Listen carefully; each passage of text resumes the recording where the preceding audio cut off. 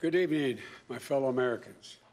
The emptiness felt by the loss of life is compounded by the loss of our way of life.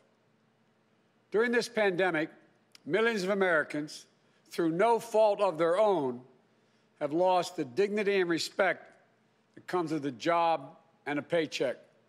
Just as in the midst of the dark winter of this pandemic, as cases, hospitalizations, and deaths spike at record levels, there is real pain overwhelming the real economy.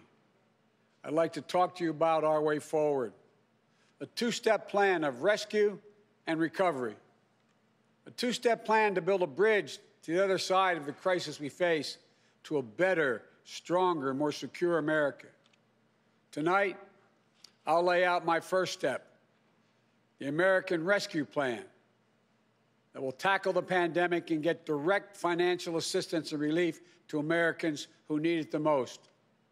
Our rescue and recovery plan is a path forward with both seriousness of purpose and a clear plan with transparency and accountability, with a call for unity that is equally necessary.